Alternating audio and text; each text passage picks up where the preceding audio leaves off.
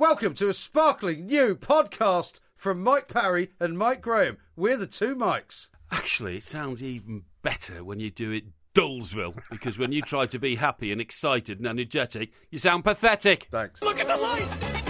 Good morning and welcome to the two Mikes on Extra Time and an extra special good morning to Mr. Mike Porky Parry. Very good morning to you, Mr. Parry. And a very good morning to you, Mike. And uh, that was a sensational game, wasn't it? Probably Yeah. the best game I've seen this season. I think it is, yeah. It I, was, don't, I don't uh, think that's an exaggeration by any stretch of the imagination. No, it was super, but it was full of uh, intrigue, mystery, and a bit of devilment. Yeah. Hmm. The Times have gone further than anybody. This morning, their headline on their on their paper says Costa likely to face stamping ban. Yeah. So they've taken that right to the ultimate conclusion Sure. of him committing horrible um, offences, really, Yeah. Hmm. which could have broken men's ankles or legs, and that because the referee was unsighted, the FA will have to get involved. Well, it depends, I suppose, what the referee's report says, right? If the Yeah. referee says that he saw it and decided to do nothing, or he just saw it and, and, and Yeah. saw part of it, you know, it, it's all very complicated. But I mean, from all the days, isn't TV angles we've seen, he certainly didn't see the one against the young lad, not um, What, Can? Uh, Can, that's Yeah. right. Yeah, he certainly didn't see that. And Daily Mail say Nutters, Skrtel fury as Costa escapes red card for vicious stamp. Right. Skrtel himself, of course, is not a great innocent, but it was. Well, um, he's not. I mean, this is what I was saying Yeah. earlier. I mean, I don't Yeah. wish to single out Martin Skrtel for any uh, particular punishment. However, I mean, this is a guy who does more holding, and I'm, I, you know, I, I, I'm not going to back it up with any more,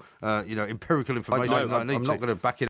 But I can't, I can't, you know, I, I, I, all I can say is that every time I see Martin Skrtel in a penalty area, Yeah. uh, he's holding on to somebody. Yeah, well, every it- single yeah, time. Yeah, I, t- I totally agree with you. Um, I mean, it was six one and a half a dozen of the others because, of course, uh, Liverpool should have lost a player for the second yellow card. That Yeah. was uh, Henderson. uh, Henderson, Yeah. absolutely. He should have got that because he the, the handball for which he was penalised and for which a foul was given was easily a yellow card. Put that on top of the one he'd already got, and he should have been off. So, so there, there, were, there were faults It was on like, I mean, sides. for me, it was one of the reasons it was a great game was because it Yeah. was like watching one of those old games from the 90s or, or, or even the 80s where people were sort of hacking lumps out of each Yes. other. And it was all part of the, the sport, really. That's right, except that the pitch wasn't a mud patch like it used That's to be in those days. Yeah. There was one other factor which uh, hit me very, very squarely between the eyes, Mike. A lot of other people have missed this, of course, but course. Hmm. I'm a trained observer, and that is that Gary Cahill, of course, started the game on the bench. Zouma came on, Hmm. very impressive in the early minutes of the game because he actually cocked something off. He let did, the he ball skid recovered off it, his yeah. head. Well, well, they said he recovered. He only recovered because a fellow defender got in and tackled, then he picked up the stray Yeah. ball. But nevertheless, nevertheless, it was a recovery of sorts It for a young man like that. Yeah. Makes you wonder whether Gary Cahill's days as a regular Chelsea defender are numeremdoed. You know, No, I don't numbers. think they are. No, I think Yeah. what you'll find is that Jose Mourinho will have a plan to put Zouma in uh, one time Well, he and said that. He said, he said, he said, he said, well, there you are then. He said, he said, uh, well, what are you talking about? Well, if Jose Mourinho's already said that, then, Yeah. uh, you know, I must be right. No, no, no, you mustn't be right. It's interpretation. He said before the game, look, I need a man with speed at the back, and Yeah. Zouma is a boy with speed, and that Yeah. was proved. Great the- name for somebody with speed, isn't yeah, it? Zoom. Sounds like he'd be fast. Zouma. Zoom, zoom, zoom, zoom. And um, and he proved that by picking up pace to recover from that uh, terrible early mistake. Uh, Gary Cahill, meanwhile, sitting on the sidelines. But I tell you what, Mike, when you're dumped like that so publicly in such a high-profile match, Hmm. Yeah. what a shock to the system! What Well, a terrible shock I to the think, system. but I think Jose Mourinho's managed to train the players in such Well- a way. I mean, notwithstanding the terrible cock up that happened at the weekend when they went out of the FA Cup, but I mean, the players that he has in his first sort of team squad, I think they're all. Uh, I mean, as as, uh, as Jason was saying on the Sports Bar, I think they're all willing to kind of fight and die for the team. Well, they if seem to you be see, able to do that. You see a young man taking your shirt, you know, not that he took the shirt, of course, because everybody's got an individually numbered shirt. Yeah. But this is a problem for Roy Hodgson. Yeah. Because if Roy Hodgson's now got to pick a man who's on the bench at Chelsea, Yeah, as, as- good, as- is it? As England's centre half, that certainly is not a good idea. Um, Costa might be banned, of course, because we just discussed that about the referee. If that happens, if that happens, in my view, Hmm. Yeah. 50% of the effective firepower that Chelsea have this season Yeah, disappears. that's true. Disappears altogether. But what would he be banned from then? What, what, how many games do you think he would get? Well, they can't do it suddenly and quickly. they, ban, they ban him from the final of the Capital One Cup, presumably?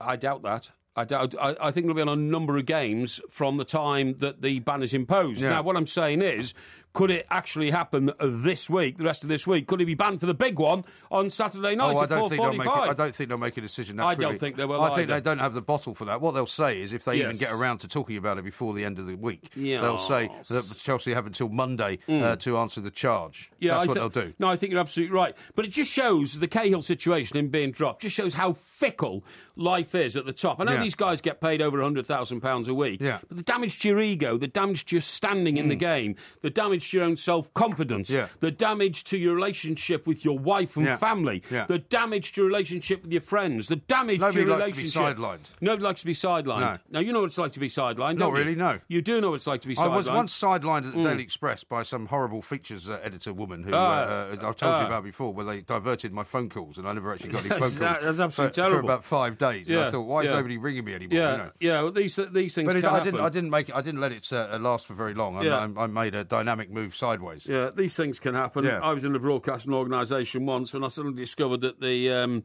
breakfast show presenters were walking past my door, even though it said programme director Hmm. on it, to go and talk to somebody else.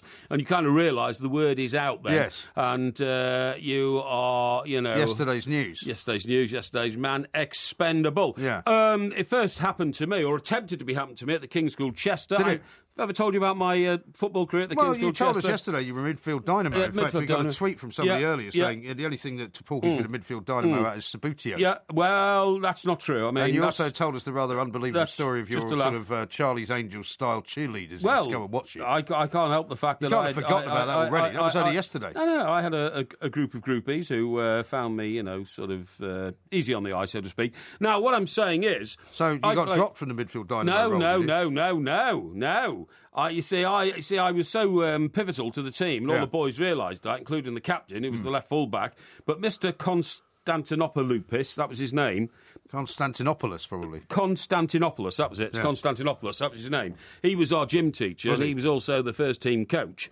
He made noises about trying to drop me. Did he? He he he seemed to think that I was ninety nine percent energy Uh-huh. and maybe only you know a minor percentage of skill and talent. So, so 99% perspiration and 1% inspiration, as some people would have said. Well, that- that- sounds about right. well, it's a good, yeah, but that's a good definition of genius as well. no, it's not. It is No, you want it to, to be. You want it to be around the other way. According to uh, which uh, which famous um, industrialist said that? I think it was um, Henry Ford. Was it? I think it was Henry Ford. Yeah, Yeah. No, yeah. Genius is ninety nine percent uh, perspiration, one percent inspiration. Uh, anyway, the point is that uh, that's the way I was, and when the rest of the team heard. They were horrified. so they? horrified, they all threatened to go on strike. Really? They wouldn't have uh, my parry drop from You the see, midfield. it astonishes me because I've never seen you yeah. as a team, team player at all. Sorry? I've never seen you as a team player. I was I was a vital cog, utterly vital cog to that midfield. In fact, to the whole team. I was like a quarterback, really. I made. Did the everything King's happen. School Chester win everything then when you played for them? We won lots of things. Did we you? won lots of things. Yeah. I presume there must Um, be records of all this. Of course. So if Absolutely. I was to look up when you played, what years did you play? Uh, I played in the years about. Let me see. What would it be? Presumably it was Uh, different. It was separated down by ages Uh, as well. Yeah, it would be about um, 70 to 72, something Okay, like that. Yeah. right. And of course, there'll be records because the records of my school, and we've had this conversation before, go all the way back to Henry VIII. Well, they may well do. you know, Wolf Hall then, and all that. Um, I just want to look up and see your Yeah. name on the score sheet and see your name on the team sheet. I could bring you a picture if you want. Yeah, that would be good. Yeah, bring you a picture of my, me in the in the. You can bring uh, that picture of you and Joan Collins in while you're well, at it. uh, uh, no problem at all. But uh, no, the, the the point is what um, what happened tonight was I think that the whole of the football community was uh, refreshed, Yeah. refreshed by the level of competitiveness, Hmm. and. If you're like me, I find it very hard sometimes to enjoy games that don't involve my team. Yeah. You know, there's a sort of distance about Well, it's a what bit you're difficult watching. if you're looking at cup games, isn't it? Yeah, well, of course, it's heartbreaking. They're not in any of them. Heart- heartbreaking. No, that's true. Um, but then when you see a game like that, you think, well, there it is. Now, whether or not, whether or not that will um, mend the damaged and bruised ego which uh, Jose is carrying around with him Yeah. because of the result of that shocking game, that shocking 4 to defeat against Bradford. Who knows? It means he can't win the quadruple, but he's now on course for the treble. Yeah, and I again. think I think he'll be quite happy with that. Uh, we are the two Mikes. He's Mike Parry. I'm Mike Graham. We've got loads coming up, and of course, uh, it's the Parrylosophy uh, later on in the show as well. a philosophy feature. I'm looking forward Yeah, to that. I'm going to help you out to understand the world, life, universe, and all that's in it. Right, well, I'm going to help you out by understanding the time because we have to go. This is Talk What? Sport. Look at! This music is always played when Yeah. we get an update on the uh, uh, the Parry Penthouse of Horrors, as Well- I'm calling well, it. I- And uh, in fact, somebody just tweeted out Yes. uh, a fantastic thing. Dean uh, has put a, a picture together Hmm. of Porky's House of Horrors. He says, Porky, I feel your pain with your roof garden, wet room, and now dishwasher. You Yeah. tweeted out Yeah. earlier on, just before you got in here, uh, that now your dishwasher's conked out as well. Well, it's not that it's conked out, it's that I found out information about the dishwasher and I might take it out for health reasons because it's been discovered in a, a new survey that dishwashers are responsible for hundreds of thousands of people, if not millions, having back problems. Oh, yeah. Because of the nature of a dishwasher. Most people's dishwashers are on the ground, correct? Yes. They're not at sort of. I have rarely freeze- seen They're not one- at freezer level, are No, they? I've very rarely Yeah. seen. And sometimes when you see those very very tiny apartments, you have Yes. some ridiculous dishwasher which is up on the top. But Yeah, they're yeah. very rare. Mostly speaking, they're the size of a washing machine or the size of a dishwasher. Dishwasher. That's right. Yeah, exactly. That's what I was trying to think of. And uh, and they're on the floor, and you, you pull the door down forward, so Yeah. you have to go right down almost to the floor. Okay. yeah. And then you're leaning down and actually straining quite a lot to pull out trays full of very heavy crockery and all Yeah. that kind of stuff. Right. And uh, and and uh, to be perfectly honest, Mike, I. Don't use it all the time. I fill it up, and my housekeeper unloads it. Right? That's very kind of you. Yeah, well, well, I fill it up because, of course, I'm using the plates, but I rinse the plates and I put them in and all that. But I, I don't find it that useful because the thing I do use it for, I run it once a week and put all my cups in Yeah. because it gets rid of all the tea and coffee stains, right? Right. Which normal washing So where do doesn't. the cups go before you put them in there? Then uh, uh, well, just accumulate in the sink. you just leave them in the sink. Well, I've got Yeah, what an awful situation that No, must be. no, no, That's no. horrendous. No, it's not. No, it's By not. the way, this It's tweet not. you sent out Yeah, earlier on, it yeah. Mm, says, heading into Talksport House to join old MG on the Two Mike Show at 2. More problems in the Porky Penthouse as dishwasher malfunctions. Yeah, well, it malfunctions as an operative. Um, So it hasn't actually broken uh, uh, down. no, no, no. As an operative piece of equipment in the in the kitchen, Right. Because I'm convinced it's going to give me real back problems if I use it any longer. Yeah. So I'm thinking of getting rid of it and throwing it out. But you're a bit closer It's- to the ground than I am, so presumably it would be more dangerous for somebody like me to be leaning down than it would be for you. Yeah, but when you lean down, Mike, the weight of the belly in the front of your body will really strain So the you- back always in. have to come you up know, with the some insult, spine. the you? spi- well, you've You just always have be- insulted me No, by calling me a midget. I haven't called you a midget. the I've weight just said of you're a the- bit your shorter fat than I belly am. and your front of your body will weigh on the spine in the back of your body. In fact, I'm not surprised that when if you open a dishwasher, right, and you bend over to try and put something in, your face doesn't go straight into the dishwasher, Yeah. smash straight into the Right. tray. Well, you I know might what I mean? your face into a dishwasher Oh next yeah, time oh yeah, see I bet you will. Yeah, there. Yeah. Yeah, but no, I tell I'm you just, what, I'm, your I'm hair merely, could be. you- I'm merely could- stating a fact. Do you know what you can do with dishwashers? What? You can put um, all sorts of things in them, including. Some people cook things in them. Yeah, well, you can put your keyboard in from your computer. What? You can put your keyboard in. Why would you do that? Uh, clean it thoroughly because it doesn't get cleaned anywhere else. No, that's an And electronic. way- it's a piece of electronic equipment. You can't Yeah. get it wet. Did you not learn that from the headphones no, no, you can. You can put your key. I don't think you should There- recommend that. No, there is no electronic stuff in a keyboard. It's just it, it's it's just How do you impulses. think? How do you think the keyboard connects to the computer? Yeah, but yeah, but you're not connecting it. You take the wire out and put the keyboard in. The keyboard on its Well, what do own. you think's in the wire? Yeah, but the keyboard on its own is is just a physical thing. It's like a wind-up clock. Right. So there's no electricity so, in it. So the, the the plug that plugs into the keyboard. What do you think's in that plug? Well, electricity, but Right. that doesn't go into the Yeah, dishwasher, you another- fool. But there's electronical ele- electrical components inside that plug, which Lots will of- be damaged by water. Do you know lots of people put their trainers in uh, dishwashers? Uh, they I clean wouldn't their be trainers. surprised about that, Clean their trainers in a dishwasher. Absolutely. I've done some research on the I've heard dishwasher. of people cooking fish in a dishwasher, Oh, I've not heard that. Is that right? Yeah, well, I know that happens. wrap it in silver foil. Yeah, or sprayed water. and you can sort of poach it. Yeah, but there's something else I can tell you because I did some research on the dishwasher and I decided I might get rid of it. I wanted to find out where it originated. Now, did you know this? Did you know that the dishwasher was invented by the same bloke, right, who invented um, the device Yeah. to um, shower German soldiers in gas in the trenches in, in the 1914-18 war? Do you know that? I didn't know that. No. Yeah, yeah. Uh, here, it was. I'll tell you who the guy was. The dishwasher was invented in 1924 by an It wasn't Englishman. by, Bo- it wasn't by Bosch, No. German company. Yeah, but this is an Englishman. All right. Right. Um, I don't know what you're talking about. Bosch. Yeah, right, I see. Yeah, because they're called Bosch. Yeah. Actually, I think mine's a Bosch. Yeah, I think you're right. yeah, I think it is. yeah. Yeah. Right, now then, it was invented in 1924 by an Englishman called William Howard Livens, L I V E N S. Right. His best known work was creating the Livens projector, right? L I V E N S projector. And that was a device for delivering poison gas into the German trenches during the First World War. It didn't catch on. I mean, not the poison gas. I'm talking about talking about talking about the dishwasher here, Right. right? In 1924, and it wasn't until the 1970s that the use of dishwashers became widespread in Europe and the United States.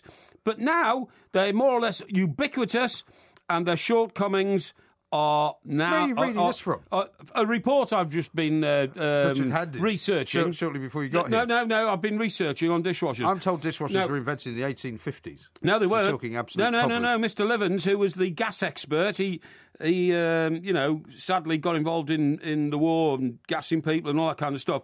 But he invented the spray that um, sprayed the gas into the trenches, and he utilised that into into the dishwashers. And I agree with him. I agree with him. Dishwashers. What do you mean you agree with him? Uh, I agree with the guy in this report who says that the dishwasher might have had its day Yeah. because it can cause more problems than it solves. I mean, loading all the stuff in is Hmm. one thing. Expecting my housekeeper, you know, who's a good woman, to have to unload it all again, bending down and all that, I think it's an imposition. Well, why don't she you could actually turn around then? and sue me. She Well, could sue well, me. she could sue you for a lot she of could, reasons, She could sue me by saying that, you know, the, the, terrible weight and expectation you put on my spine unloading your dishwasher has caused me crippling arthritis Yeah. over the years. Well, what I mean, about all the other stuff you? I- I what about all the other stuff she has to do? I don't like you know, put- cleaning the floors on her hands and knees, and, and you know, lifting lifting up the tiles on your roof terrace. I mean, Well, all of well that. hang on. She's a housekeeper. That's what housekeepers No, do. housekeepers just clean. That's all they do. Well, that's all mostly what she does. Does a few extra They don't things get, for you me, know, they don't get phoned in the middle of the night to say I've lost my keys or I've left them down in Portsmouth. Would you mind coming and letting me into the house at four o'clock in the morning because I haven't got my keys? It's part of her responsibilities, not. and she's very happy No, she to, is overly to used oblige. for the wrong reasons. any- anyway, I'm thinking of getting rid of it. The, um, The first hand-powered dishwasher was patented in 1850 by Joel Houghton. Uh, I'm not talking about hand powered dishwashers. I'm talking about the electric dishwasher, okay, which is the labour saving one. You can't you can't call a hand powered dishwasher a labour saving device if you if you're turning a, a handle on the side of it, almost as if you're trying to start a 1953 Morris Minor. I mean, that's you- you uh, that's say- ridiculous. You might say that it's better than having to uh, to wash all dishes by No, hand. it's not. It's not. Washing dishes by hand is not a problem. It's not a problem at all. In fact, a lot of people will tell you, sometimes people who've got psychological problems, um, you know, go to see psychologists and all that kind of stuff, and they're told that a lot of domestic uh, chores Yeah. are very therapeutic. For instance, I wash my it- own dishes. Uh, Well, I wash my own dishes on a day-to-day basis, you know, except for the cups because they need But more you leave. washing. Well, what do you wash them in if the cup the sink's full full of cups? I've got two sinks. Two sinks. Yeah. So one sink for the dirty cups and one sink for doing the washing. Well, Why don't you just well, wash the cups in the other sink while you're at it? Well, because you can't get the tannin. You can't get the tannin. You see, you don't understand. Absolute the tannin rubbish. from tea bags and the tannin from coffee Rubbish. cannot be removed That's in a simple wash. Yes, they can. need steam cleaning No, in in a in a dishwasher. I might keep the dishwasher and turn it into a cupboard for my extensive range of crockery. Um, for instance, What sort of crockery have you got? well, each Christmas, my mum buys me some more pieces of something called Denby. Have you Oh, ever yeah. heard of I've Denby? heard of Denby, yeah. Right, okay, and it's all in blue and white, Yeah. which is the colour of my um, apartment. What's right. that, what? How many? What sort of set have you got then? You've got like a twelve set dining uh, piece or something like that. What of Denby? Yeah. I've got nearly sixty pieces now. Well, I mean, how many pe- people could you seat? You know how you have to have a side plate, a main plate, a soup plate. You know, knives and forks. I could easily seat eight. eight people. Yes. When was the last time you had a dinner party for eight people? Um, I've You haven't ne- got seven friends. well, I admit to that, and, and I'm proud of that. Right. And also, So why have you got all this crockery uh, then? uh, well, my mum's bought You it should all for me. You should invite me. round one night for Yeah. a Greek night. We Well- could chuck it all in the fireplace. No, you can't do that. It's very expensive stuff. Don't But, care. um, My mum likes. My mum buys it for me every Christmas, and it's, it's a great collection, honestly. Yeah, but what's Um, the point of having a collection you never use? well, I, I, I must admit, I have never used it, but that's because I've never had a dinner party. Why don't you just tell her to stop buying you? Because I, I, well, because she likes buying it for me. She likes it. It's a great collection. And I wouldn't have a dinner party Hmm. because I don't want people in my house talking garbage, um, right? No, I don't. And, um, you know, and basically disrupting the ambience of my home. I, I, I don't like dinner parties. Yeah, because the ambience of your home is so fantastic now. You've yeah. got, you know, uh, all sorts of things going Well, on. You've uh, got the wet obs- room, which is a complete wreck. It is a You've got a sink full Disaster. of cups. You've got a roof terrace that looks like something uh, out of but downtown Baghdad, as you said. Yeah, right. Dash has sent this Yeah. in actually to, yeah. Mike, saying, "I feel sorry for people who live underneath.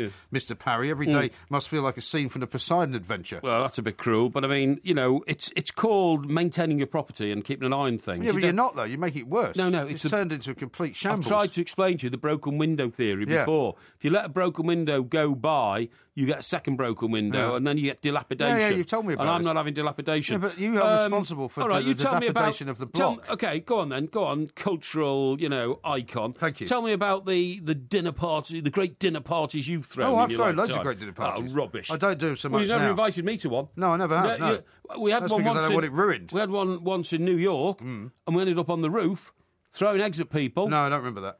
What? No, wasn't a dinner party. Well, it was, it was some reason we were around there eating. Yeah, you probably dinner. just come up for a drink or something. Maybe Like something like that. No, I've never, Um, no, I've never invited you around for dinner because I know that you're not particularly a, a foodie sort of person. You're well, not I'm, interested I'm in food. no. It's not that I'm a not a foodie person. I'm not a company person. I can't tolerate. You don't get on with people. I can't I couldn't possibly put you into a mix of, say, six or seven other couples. I cannot- uh, and allow you to be let loose on them. It would be well, a nightmare. Well, I cannot tolerate the illiterate ramblings of a bunch of dopes Uh-huh. uh, sat around a table thinking that they're the elite society.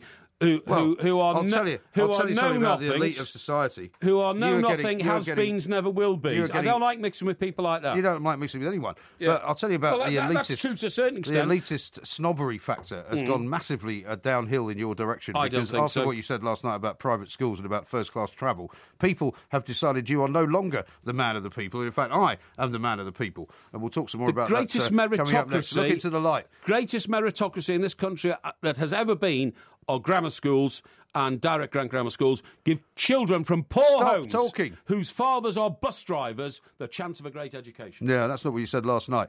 Very, very inconsistent, I'm afraid. This is Talk Sport. We are the. Ever since you and I have been working more together, Hmm. part of my brain, I'm sure, has been uh, affected in some way, and my memory cells have started to desert me. Well, Because I used to know who was in bread, funny, funny you should say that. and I think you're having some kind of deleterious effect on me. No, I don't think I am. But during the course of these next two hours, and if not tonight, then another time, I've got uh, no joke. I've got a load of um, of clues as to how to retain your memory. In fact, I've got one very good one. I'm going to tell you about. I was going to tell you about it later on in the show, anyway. I put out I put out a story actually on Twitter earlier tonight about a new gene that they've discovered Yes. that can actually be the one that determines whether or not you have uh, the ability to, Okay. to to remain compos mentis in old age. Now, don't you remember in the show last night? I said to you, what you should do if you want to remember things is chew chewing gum as you're trying to remember. Yeah. Right. So you study facts. You you look at a documentary. You read a book or something like that. If you want to remember all that's there, chew chewing gum very rapidly. Yeah. And what happens is the motion of your teeth going like you know, chew- chewing like that sends um, uh, messages to your brain. Literally, you You're know. talking about chewing gum. Yeah, I'm chewing, I'm chewing gum. told us about this last night. I, I know, and I'm, I, but I'm, I'm Well, you expanding saying on this it again? because I'm You've saying forgotten, haven't you, about it no, last no, night? no, and all the information goes in your brain Yeah. and stays there because the information parks itself on the basis it was Yeah, you said there this last by the chewing motion. Yeah, but I Yeah, found I found except, another. Except the one bit of information that Yeah, you've forgotten yeah. is that you've already told us. David Gates No, no. was in uh, bread. David Gates, right? So who were the um, who were the uh, brother and sister who sang, you know, um, "So Goodbye, My Love"? That Eh? was um, the Carpenters. I was Carpenters. Yeah, sounds the same. then, Karen it? Carpenter. Yeah, that's right. She died of anorexia. Yeah, poor woman. Now listen, talking about anorexia, which we shouldn't talk about because it's a terrible disease, and I'm have great sympathy for people who've got it. Um, and we've just been talking about. we were talking about anorexia. No, we're not. We've been talking about domesticity, right, and kitchens and all that. Domesticity. Do you know that the uh, the che- uh, the um, sandwich toaster's on the way back? Is it? Only this time, this time, pal, you ain't going to get away with buying one for ten pound ninety nine Hmm. in Woolworths, which is where I got my first uh, sandwich toaster. Okay, Really? Woolworths, of course, closed down now; doesn't exist anymore. And What what, are you? sandwich toaster from Woolworths? Yeah, That's not a very good I did idea. for ten pound ninety nine. Yeah, the first flat I ever bought was in um, in uh, Palmer's Green in North Yeah. London. There was a Woolworths in Palmer's Green High Street. So Yeah. I went in and bought a toaster because uh, you know everybody had one. Everybody had a soda Well, stream. everybody buys one, but you actually use it about four times, and then you just put it in the I think I cupboard. used it twice, and do you know what I did? I put beans in it. So you, what you get is you get uh, you get two slices of bread, which you have to butter on both sides. Yeah. You know that, don't you? What? You have to butter the bread on both sides. What, when you put it in a sandwich maker? Yes. Well, you can do. You don't have to. No, you have to. Otherwise, otherwise it sticks to the the inside of the sandwich toaster. So you need to grease the butter. Hmm. Yeah. Uh, sorry, you need to grease the bread on both sides. Yeah. And then what I used to do was, I would put a tin of beans in the middle, right, and then um, Beans on toast in a sandwich maker. yes, that's right, yes, Sandwich toaster. and, and then press it down That and lock a bit it. dangerous. No, so press it down, lock it, and all that, and then it come out as two sandwiches because there was a cutter in the middle, right? Yeah. But then eating it, it was so hot. I mean, it, no, no, it burnt my tongue and mouth and everything. So Well, you're, I, not I supposed, you're supposed to make like cheese and, and ham and well, stuff like here that. are the new one. Right now, that one costs They make £10.99. tomatoes very hot as well, actually. Now, do you know what the new one costs? No. two hundred pounds. Who makes that then? It's called a Dualit Contact Toaster. Oh, it's uh, sorry, it's two hundred thirty-nine pounds. State of the art toaster makes a sandwich in one minute. Uh, you can control the temperature on it. Suggested menus for this one. Yeah. Suggested menus. Yeah, this will this will suit your fantastical mind because I don't believe in all this uh, garbage that you tell me about buying organic food at Mm. Borough Market. What you put in it is pesto, avocado, spinach and brie, Yeah. goudan, pan-fried wild mushrooms and thyme, crunchy peanut Thyme? butter, thyme. Where would you get that then? Eh? From the supermarket. I think that's funny. It's thyme. It's not thyme. Have you been to Strawberry Fair? Parsley, sage, rosemary, and thyme. what, are you, what are you laughing It's at? not thyme. It is thyme. It's thyme, you it's idiot. Not, it's not. Time is T I M E. It's time is on your, your wristwatch here, you know, on your Rolex. Mm. Yeah. It's not. It's not on. How do you pronounce Thibaut Courtois? What? How do you pronounce Thibaut Courtois? I don't know. Don't care. I'm It telling you. starts About, with a TH. I'm telling you what you put into uh, the uh, the modern uh, uh, sandwich toaster, right? Crunchy peanut butter you don't butter. even know what half of those things are. Hang on, just listen. Uh, crunchy peanut butter, Nutella mini marshmallows. Nutella? Or is that there was Oh, that's an Nutella old different? Teller. No, hang, hang on. Is Nutella different to mini marshmallows? I suppose Yeah, it very is. different. Yeah, okay. It's, it's so, a spread, and it's pronounced okay. Nutella. Right, you because can- it's made of nuts. You can put A bit like Nutella in, mini marshmallows. The other things you can put in: sliced figs, pecans, goat's cheese, and sage. Hmm. Okay, Um, and you can also, if you want to go back to basics with a cheese and ham toasty, Yeah. you now use raclette and bayonne in between slices of brioche. Okay, Brioche. yeah, yeah, brioche or whatever. Yeah. Um, what are you laughing at? Why are you Brioche. laughing? Why are you laughing? Because you don't even know how to pronounce some of this Anyway, stuff. anyway, anyway. Brioche. The point is, this is the the sandwich toaster is now being endorsed by some of the world's top chefs. I'm sure it who is. say it is uh, fantastic. Yeah, there's another Well, one you'd here. have to be mad to spend 250 Yeah, notes yeah. on a sandwich t- maker, wouldn't you? Yeah, there's another one here, which is a uh, which is a recipe for a toaster, and it's what you you get is Recipe for a toaster. mini cheese and gherkin toasties, Hmm. right, which are now bar snacks in top um, uh, bars, Yeah. Cocktail bars. Also, you can have ox cheek and gruyere. Um, why, why, are you laughing? Gruyere, yeah. Gruyere, Gruyere. Uh, topped with a fried egg and chili sauce, and That sounds horrible. and duck and waffle. You'd like that, wouldn't you? Duck and waffle. Um, Well, I don't know, but. Uh, Oh, I tell you what, there's even a yeah, there's one here. Uh, the world's hottest toasted sandwich is the cinnamon uh, Soho, uh, Well, and that'd be good for you after that cinnamon challenge. and that's that uh, spiced crab or minced lamb and scrambled egg variety. So I mean, it's all you know, it's all becoming very, very. It's all gone very fashionable. high-tech, but I mean, hasn't it? but I mean, I still wouldn't use a toast in. Do you Have know you why? still got one at home then? No, of course not. Why if not? I if I have it so far back in the cupboard, I can't find it. You know what I mean? So it might be in one of the I mean, cupboards up I in the kitchen admit, somewhere. Mm. on the occasion when you kind of break it out and dust Yeah, it down yeah. and you make a toasty, it, it is actually quite nice. I wouldn't even know how to use it these days. Seriously, Well, it hasn't Would- changed. Wouldn't know how to use it. No, but I mean, Well, you wouldn't. I mean, what you shouldn't do is put beans in it. oh That's no, a really no, I I idea. like the beans. But what I'm saying is, Didn't well, they sleep out at the edges? No, no, no, they didn't. Honestly, The- it sealed the bread as like a you know like a sealed Hmm. package, if you see what I mean, and even put a divider down the middle, so you got two sandwiches, you know, two bean Right. sandwiches. I might put sausages in it as well as the beans. You know what I mean? Like beans and sausage.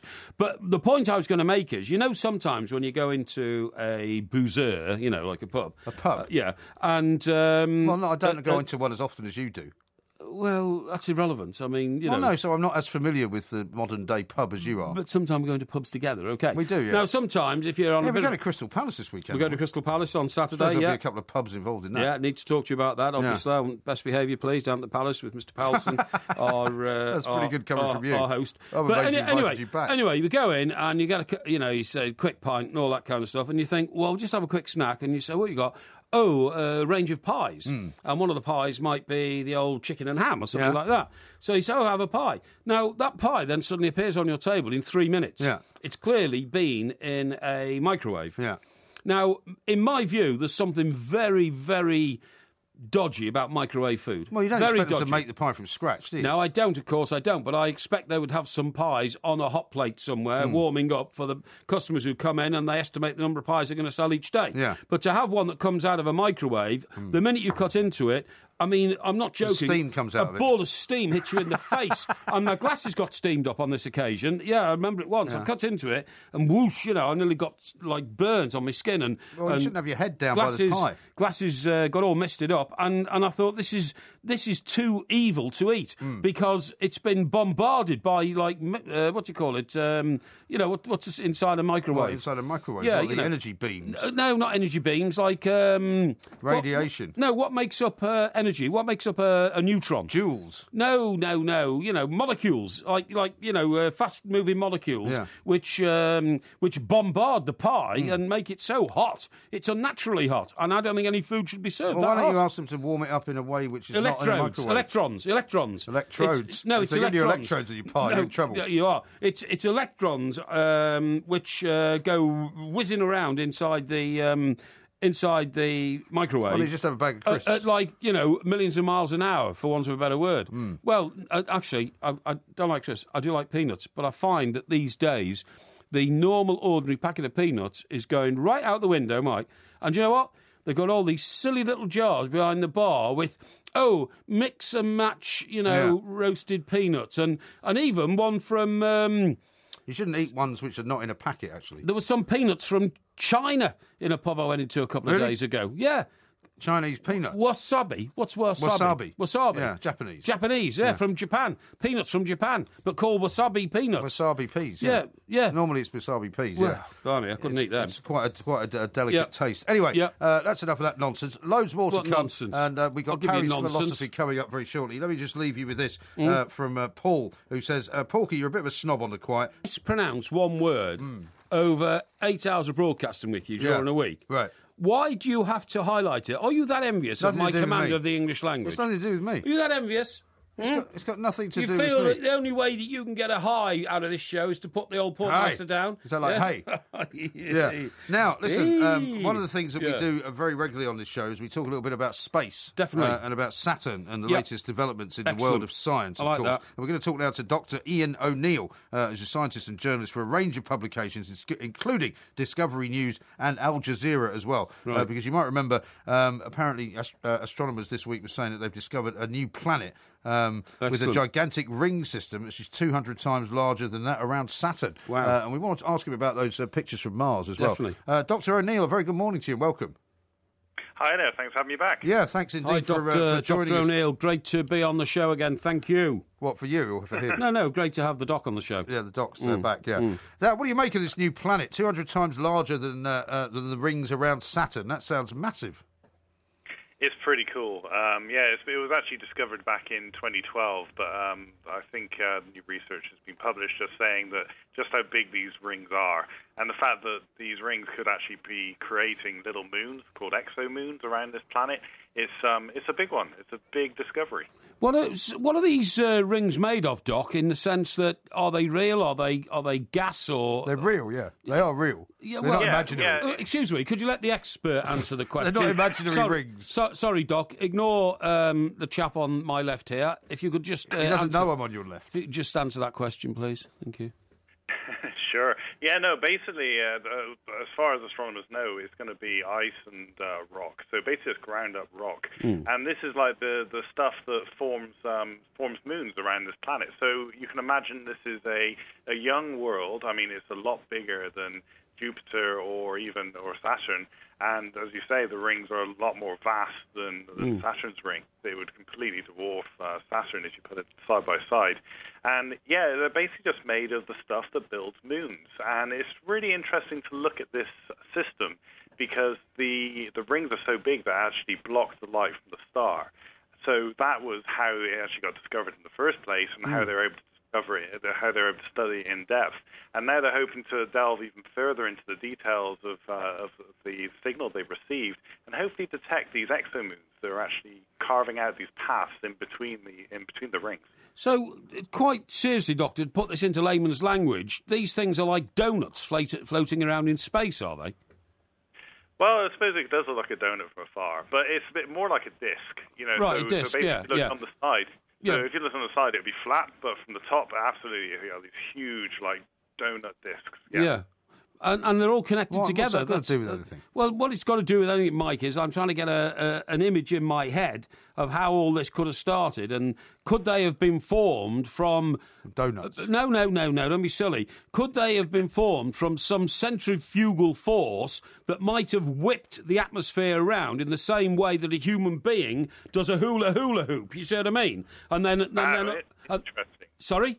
Yeah, you touch on an interesting point because there is also the theory that if we look at Saturn, uh, Saturn's rings, that the tides of, um, of Saturn, because it's such a it's a huge body, a huge mass, it produces these really really strong tides. So it so in the orbit of Saturn.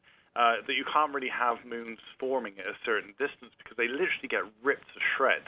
So it's almost like going into a tidal blender. So there is going to be a point with this massive exoplanet that's been discovered with this huge ring system that's going to have a massive uh, gravitational and, and tidal pull over the moons that are going to be forming inside this huge disk that it may well rip them to shreds. So yeah, it's almost like a demolition derby inside this inside this massive ring system. And where is it, where is this planet? It's called J fourteen oh seven B, uh, which I always think is a very unromantic kind of name when they give them these kind of numbers Yeah, and letters. name, yeah. yeah. it's not a good name. But where where call it- it? Where is it- it exactly?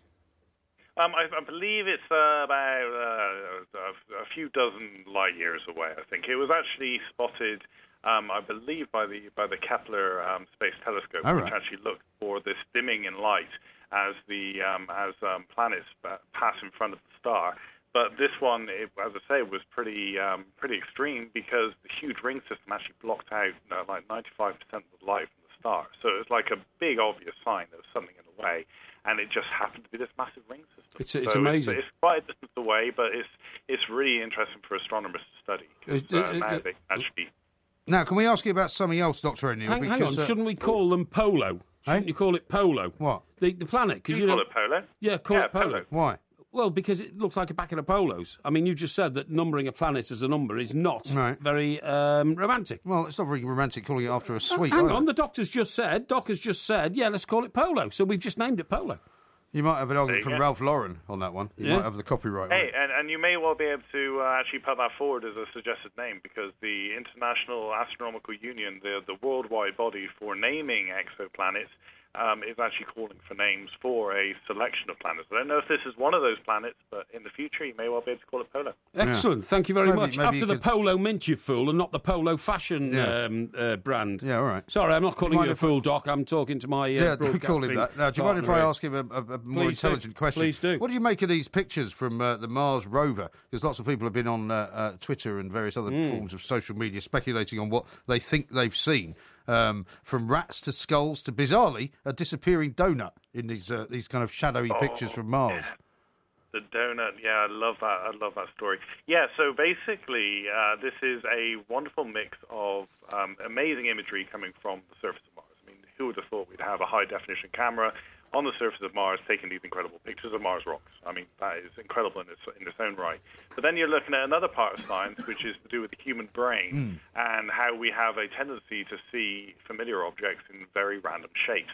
And we've kind of evolved this way. Apparently, this was something when we were back in the Stone Ages, when we were, you know, um, tr- trying to survive out in our, as cavemen. We needed to recognize familiar objects or familiar faces, and it was like this evolutionary advantage that we probably had. That's one of the theories.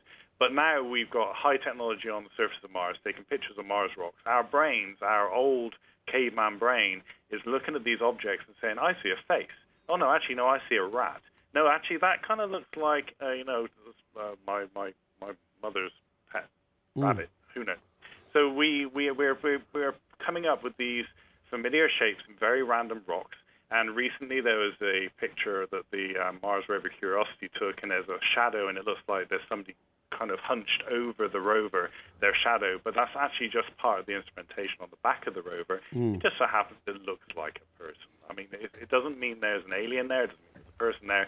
It just means we are very creative Um, Yeah, and we want and we want to see something literally that isn't there. Um, Dr. O'Neill, as ever, a great Thanks, pleasure Doc. to talk to you. Thanks very much indeed, Dr. It's Ian like, O'Neill um, there, uh, who's a scientist. It's like walking through a forest at night, right? and you start hallucinating. Well, you don't start hallucinating. You start seeing shapes and shadows, Hmm. which are really just trees waving at you and that kind of stuff. In Waving the wind. at you? Well, trees do wave at you. Trees No, they don't. wave- They blow in the wind. No, no, no. They wave at you. Trees wave was at you last in the last time you walked in a forest in the middle of the night? Um, I wouldn't advise you when to was do the that. last time I did? Uh, I'm not sure really, but I mean, we've all done it, haven't we? But where in the old penthouse in Surrey, Mike, when I sit there and I'm watching telly, when it comes to spring and then spring starts moving towards summer, and the trees then start filling up with leaves, Hmm. right?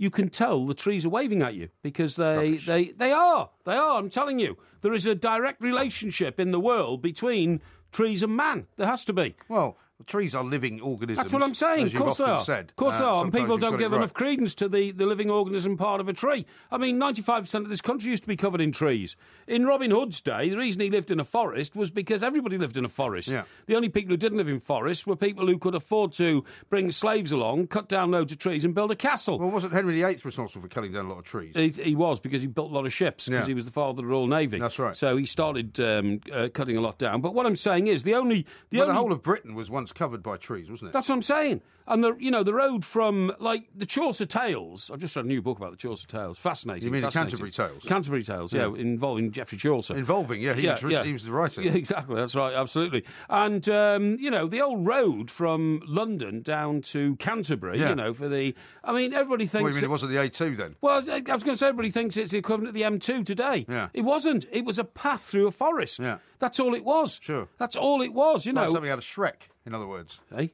Shrek. You've seen Shrek, haven't you? No, I You've never seen Shrek. no? I've- no. Have you never seen Shrek? I don't know. I don't like it. Why don't you like it? Uh, Great film. Uh, I, I don't know. It looks weird to me. Why Looks a does bit, it look weird? Well, you know, this kind of monster type character and all that sort of stuff. No, no, I don't really laughing at. You know, It's a cartoon. yeah, I'm not keen on it. He's an ogre. But what I'm saying is, you've got to remember to make the road any wider than three or four feet, you Yeah. have to cut another tree down. Sure. Now, the pilgrims aren't interested in cutting trees down; they're only interested in getting to Canterbury. Yeah. And so the well-worn path literally snaked between trees and Yeah. all this kind of stuff, and Right. there'd be a clearing. Well, it wasn't that easy to cut down trees re- in those days no, either. it was very difficult. Uh, didn't even didn't even have Hey, I'll tell you what, by the way, one Yeah. of the things that I've got Yeah. very good at Right. is splitting wood with an axe. Remember I told you I bought an axe uh, months and months ago? Yes. I've now, because one of the things is when I buy uh, wood for my, for my uh, wood fire, burning fire, for the wood burning which pollutes fire. the uh, Does not pollute pollutes the atmosphere worse than coal. What, what wood does? Yes, wood does. Absolute wood rubbish. does. Wood, Anyway, wood the pollutes is, the atmosphere worse than coal. Rubbish. Anyway, it does. I can tell you. finish the story? I know these things. Please do. Anyway, the point is, some of the pieces of wood come and they're a little bit too big to fit in once you put the grate back Yeah, in and everything yeah, like that. yeah. Um, so I've worked out that you can just split the wood in one move. I can do it in one move now, and it's fantastic. You know, With I- one hand. Uh, no, I use two hands with Right. the axe, Okay. but, uh, but it splits it perfectly. And suddenly I now know because I had loads of this wood that was too big to go in, yeah. and now I don't have to buy any more because I've now got loads of it, having split good it all up. good idea. I Do just li- thought I'd tell you about yet another talent I've And, discovered and, about and do myself. you leave it outside? Uh, no, I keep it in the shed. I was going to say, you leave it outside, it gets wet, Yeah. you then put it in your wood burner. No, you don't it, wanna do that. It, then lets off uh, terrible belching smoke and, uh, No, you don't want to do that. and uh, completely defeats the purpose Yeah. of doing it. So you're absolutely right. Now, a couple of things to mention to you. Uh, Sharky has sent in a picture, very helpfully, Sharky, uh, good. Of, a, of a new type of dishwasher. He says, uh, Right. try one of these two drawer dishwashers. There's no reaching down, and it washes two loads at once. Even if it's a two draw one, it's Yeah. got an upper drawer and a lower drawer. Well, I still got to reach down to put stuff in the lower drawer. No, I don't think so. I think somehow it's interchangeable.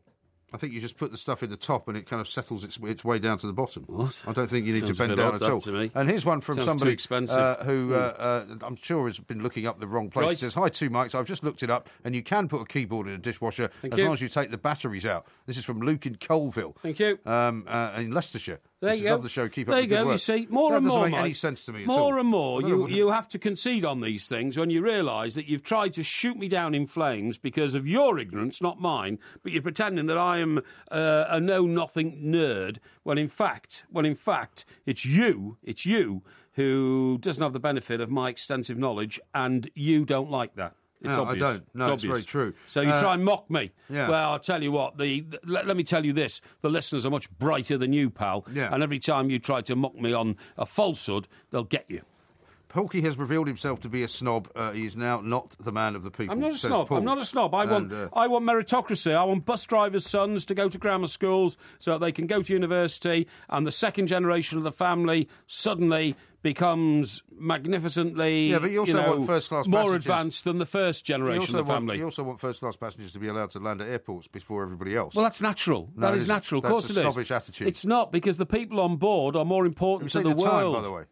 You've seen the time. Of course, I see the time. I see the time all the time. Well- Trouble you is you're you're a slave to the clock, mate. Yeah. I'm not. I am a slave to the clock, uh, as is uh, the commercial radio station for which we are employed. The two Mikes, he's Mike Parry, I'm Mike Graham. There will be a podcast coming out a little bit later on, and I want to start this hour with some advice for you from Dr. Carl Poikolainen, Yeah. uh, who is a former uh, World Health Organization alcohol expert. Right. And he's just released a study, which will be great news for you. He says you can actually drink six pints of beer a day. Well, he's and mad. it's okay for your health. Well, he's mad. He's, He's not mad. rocker. He says drinking only becomes harmful when people consume more than around 13 units a day. But Well- according to the new, uh, the new sort of government guidelines, Yeah. you're not supposed to have more than four units a day. Uh, I think the government guidelines say maximum of something like 21 units a week Yeah. for the adult male, Right. which is a pint and a half a day. Yeah. Well, 21 units a day is what this guy says is okay. And that's, uh, what's that, six pints? Six pints, apparently. Yeah. Six threes, 18. So I thought a pint was only two units. uh, I think it's probably a bit more because a small glass of wine is one unit. Yeah, See what I mean? yeah. So it's probably about two and a half units or something like that. Right. Well, I'm sorry, but that goes against all known medical science that we've been taught since the age of five, doesn't Hmm. it? It really does. Well, it does, but I mean, this guy's from Finland and he's an expert on these things. so Well, they don't drink in Finland, do they? Yeah, they it's too, no, they don't. It's too expensive. They drink to excess in Finland. no, they drink. They have. A, they produce a lot of vodka in Finland. What's it called? Finlandia or something, isn't it? Uh, you can get Finlandia. Yeah, Yeah, that's right. And uh, and maybe he's confusing it with that. But anybody who drinks six pints of beer a day every day will die. Well, what he says is this, right? The weight of the evidence shows that moderate drinking is better than abstaining, and heavy drinking is worse than abstaining. However, the moderate amounts can be higher than the guidelines say. Well, is six pints a day moderate drinking? Uh, well, he would say so, yeah. Well, I wouldn't. I I'd wouldn't say six pints every single day I, I'd say you- you're on the road to cirrhosis of the liver if you drink six pints of beer a day. He also says you can drink just over a bottle of wine a day and you'll be fine as well. And you might actually live longer than a teetotaler. It's great news for you. Why is that? Uh, wh- what's he based that on? Well, he doesn't. It doesn't Where'd you say. get this crazy? St- I mean, This this, man must have been intoxicated when he wrote this No, report. this is a report that he he just must brought out. mad. Yeah. Maybe maybe the guy who wrote it has a you know a, a preference for alcohol and wants to try and justify his consumption of it by producing a worldwide report saying it's all okay. Well, predictably, uh, somebody from think tank Goes Two- in the face of everything we've ever been taught about alcohol. 2020 Health, a woman called Julia Manning, said this Yeah. is an unhelpful contribution to the debate. It makes grand claims which we don't see evidence for. Alcohol is a toxin. The risks outweigh the benefits. I mean, there's no doubt about it. Look, um, we've been heavy social drinkers for the last 30 years, right? Probably. Maybe a bit longer. Probably longer, actually. Actually, much longer. I started drinking socially when I. Socially? What, what are you, what are you laughing at? You started getting bladdered. Why don't you start the sentence with that? Excuse me. When's the first time you got drunk? I've told you this before at a wedding when I was 12 and I had right. uh, two Babychams Yeah, okay. and ended up literally under the table. Hmm. Um, but I started going out with my mates drinking when I was about 15. Hmm. Yeah. And the thrill You of didn't have a walking. beard then, did you? No, of course, not. Well, you might have had fool. because that would no, have didn't. made no. it easy for you to get into pubs. no. no. The thrill of walking into a pub and walking up and saying, you know, pint of lager and lime, please. Yeah. And then they look at you, and then, you know, the barmaid says, and she has it opens her mouth, you're going to say, I'm sorry, you're not old enough. No. She says, which, pi- which sort of lager would you like? Hmm. And you're so nervous and unprepared for being inside a pub, which seemed like, you know, a mystery world to uh, people of 15 in those days, Sure. because they were full of billiards tables and smoke and all this kind of stuff. And, And I- the occasional pinball machine. yeah, the occasional pinball machine, and you didn't know the names of the lagers, Yeah. you know. And then so you looked up and down, there, and I said uh, Grünhalle, please, because it was Greenall. Grünhalle? Yeah, Grünhalle. Greenall Whitley was the local um, brewery around the northwest, Oh, yeah. right? And they produced a, a lager called Grünhalle, which I thought for years was must have been produced in the Grünhalle forest in Germany, but I didn't realise. Well, luckily you didn't mispronounce it. No, no, no. I didn't realise that it was, you know, a very uh, amateurish play on the word Greenall, as in Greenall Whitley, which Yeah. is made in Warrington. but um, like that vodka, the vodka we make in Warrington. Yeah. Um, but anyway, look, look. The point of the story is. What is the point of the story? You've uh, you've been taught ever since that day that you know it's not good for you, and uh, and I just I've read a I've read a report, Mike, which is completely challenging to what you've just told me this Hmm. week that says If you're a moderate drinker, so maybe you have three pints a day. Okay. Three pints a day is still quite a lot if you're doing it every day. Yeah, I-? I agree. Obviously, I don't drink really during Yeah. the week at all. or, or a couple of pint, a couple of glasses of wine, right? Yeah. If you do that but have one day a week off, you're okay. If you give your liver a rest for one day, for that, so that'd be about 36 hours in Yeah. essence, because you'd finish I was always told that your liver Yeah. takes about four days to fully recover if you've been drinking heavily. Well, how many people give it four days? Well, Nobody. well, well Nobody. some people do. Yeah, some well- people take off the whole So what- uh, what- month of January. What do you mean you don't drink during the week then? Well, I don't really drink during the week. I mean, Yeah. I would drink at the weekends. When. I, if I'm if I'm going out to meet somebody for lunch, I might have a Yes. couple of glasses of wine. Yeah. Um, but if I don't go out and meet anybody for lunch, which quite often is the case, Yes. I, I won't drink it. I don't. I generally don't drink at home. So do you go out during that day? Not always. No. No? No. So you're a bit of a home bird, yeah? Yeah, well, because I sleep for a bit, then I Right. make something to eat, eat Yeah. something, uh, you know, do a bit of uh, admin, Right. do whatever, um, Yeah. watch a game of football, maybe whatever. If there's a game of football on, Yeah. and I'll actually not leave the premises. Yeah, I see. Yeah, yeah. Hmm. Bit of a sort of uh, claustrophobic Bit of a type, recluse. Uh, yeah, recluse. Well, I've become yeah, a bit of a recluse. I mean, there was a time when I was always out. Yeah, there was sure, a time when I'd sure. be out Well, lunch. that's a good thing. I'd be having dinner. It's a good You know, I'd be doing all the things that you would accuse me of having, thing. a, a, you know, a, I, an um, abandoned moral compass about. I think one of the great pleasures of life is at the end of a working day to go and have a quick pint, you know what I mean, and sit in the corner, have a look at the paper, something like that, or maybe do that on the way home or lunchtime or something like that. Because I enjoy the social ambience of pubs. Well, right? I quite like them, but Yeah. the end problem is the end of my working Yeah. day is six o'clock in the morning. Well, exactly. It is for both I mean, of us there these is days. there yeah. are pubs you could go to, but, Yeah, I, there wouldn't, are, yeah. I wouldn't want to do that. On, Yeah. on a, because plus, I've got the car now. I bring the car into Yeah, work, so I exa- can't, I'm not going to go to the pub, am I? No, no, exactly. No, of course not. No. Um, so, uh, so that's the situation. But I prefer to, um, I prefer to rely on the report, which says that if you take one day off a week, then you keep yourself in pretty good shape if you're drinking, you know, three pints on the rest of the days. But the idea that you can have six pints a day and keep it going, that's the old fashioned idea, Mike, that, oh, alcoholics only keep themselves alive by drinking their, you know, huge alcoholic amounts every day. It was always said of George Best, oh, George Best will go on forever till he stops drinking, then he'll drop dead. It's an old wives' tale. It's an old wives' tale. Have that you ever been asked to kind of top up or, or, or uh, tot up, I should say, the number of units you have in a week? Like when you go to the doctors and they say, "How Yeah. much do you drink?" What do you tell them? Oh, a couple of pints a day. Couple on of pints a average. day. On average. Is I that right? Is on that average. No. No. No. So And I why do you tell- tell them that then? I tell my heart doctors that I drink uh, only bitter shandy. Really? Yeah, because that's good. Mm. You know, in the sense that I've And only... what do they say you should drink in terms of the amount? Oh, nothing. What they think you should do Yeah, nothing yeah, at all. yeah, absolutely, yeah, yeah. That's what But see, this is a bit that astonishes me about Yeah. how you're actually still alive. Yeah, well, and me as well. As you've often mentioned, your mm. heart only works at a third of the rate of No, everybody no, else's. no, no. Only one third of my heart works, Mike. Well, so only one third of my then. heart. No, it's not. Well, it works at a third of a rate then, no, it, no, it doesn't. Only one third of it works. The other bits of it are knackered. Well, well, surely it then works at a third see, of the rate. see, the problem with the heart is, problem with the heart is, problem with my heart is that the bits of it that are knackered are dysfunctional, mm. but you can't replace them. Right. Uh, you can only replace a heart. Now, the I would love to. Well, the whole heart. Yeah, you've got to replace the whole heart. You can't replace bits of it. But if they replace the whole Yeah. heart, would the two thirds of it also then stop working because of some other reason? no, no, no, no. It would all work again then. So you could have a whole new heart then. Yeah, yeah. If somebody gave me a new healthy heart, that'd be good. Well, why didn't you? Why did you not get get that done then? Well, I took myself off the transplant list. Why? Because my life had been put on hold and uh, I was going backwards. And, uh, you know, people were stealing bits of my life while I was um, confined to hospital and all this kind of stuff. So I had to get out and get back into it and all that kind of stuff. Um, but the, the other thing is, I would love, I really would love to have um, that uh, heart disease where you can replace four um, veins and, and you're better again. What's that called? I don't know. You know what it's called. You know, Bill What, like Clinton had it. bypass or something? Bypass, bypass. Yeah. If you had a, you Well, know, a bypass is not a disease. A bypass is a cure. by, bypass, uh, you're absolutely right, is blocked arteries, Yeah. right? Go into hospital, and what they do is they get a chainsaw and they cut you right down the sternum, okay? And then they get all your don't have to be ribs. quite so graphic No, no, no, no. I'm telling you, they get all your ribs and they open them out, Yeah. right, as though they're opening up a, a like a suitcase, I suppose, or something Yeah. like that, you know.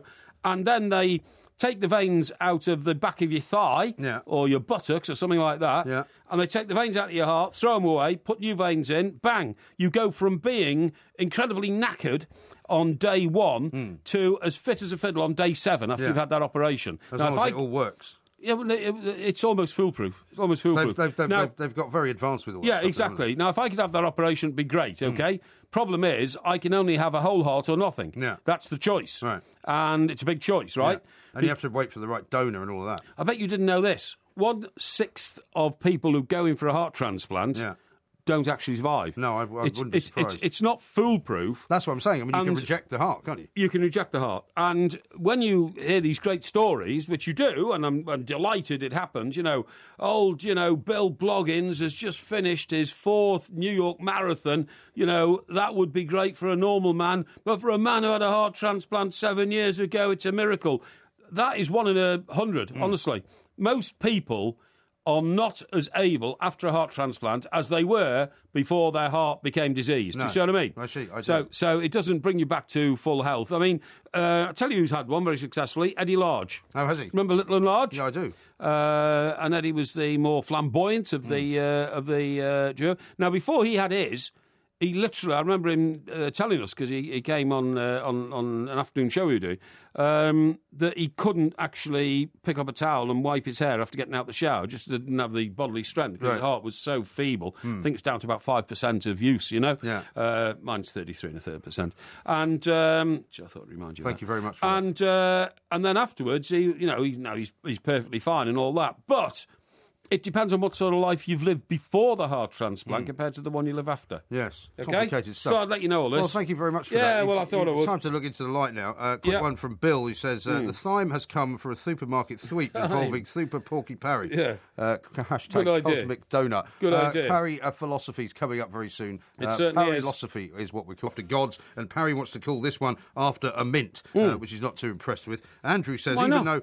Well, I don't think it's a great thing. It's not very cosmic, is it? I don't care if it's cosmic or not. It's practical. Yeah, well, it's not particularly practical. I don't even know if you can still It- get it- polos, it- can you? Yeah, of course you can. Can it gives you a great image of what the planets look like, doesn't it? Yeah, but it doesn't look like a polo mint, really. well, well, the rings around it do. Well, possibly. Yeah. Uh, but there's a big thing in the middle, though, which completely makes it look different. Andrew Yeah. says, uh, even though some stuff is electronic, as long as it isn't on, it can be washed. Just make sure it dries completely after.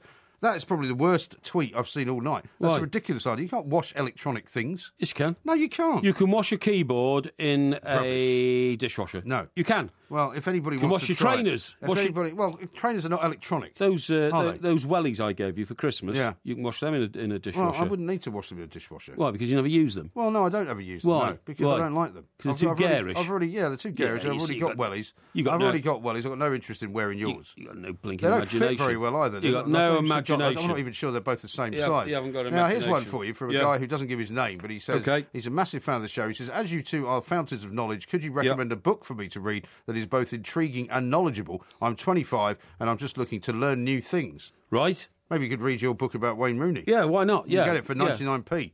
Very, very cheap on uh, Amazon. What do you selling that for? Actually, Why- you get why it you for, trying I, to I, I tell you a lie, you can, get it, it? you can get it for a penny. You get it. it for a penny. No, you can't. we buy no, you can't. copies it's rubbish. Uh, I would say that the best uh, novel I've ever read is The Pillars of the Earth. it. Pillars of the Earth. Pillars of the Earth. Is that, is that by, what's his name, that guy that you're always raving on yeah, about? yeah. The guy who was married to the female Labour MP.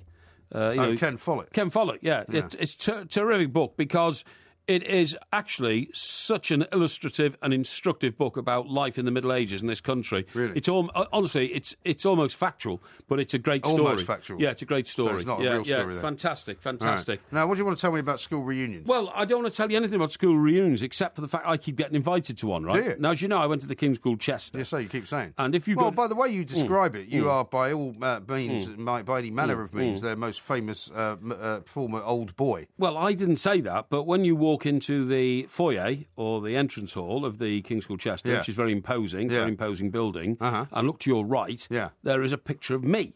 Um, Why? What are you laughing at? Why is there a picture of you there? Because I am one of their most distinguished ex-pupils. Well, it can't be much of a school, can it? And, well, you If see, you're the most you see, see, that's, see, that's nonsense. See how many people they send to Oxbridge each year? Well, at least me before. fourteen. At least fourteen. So what?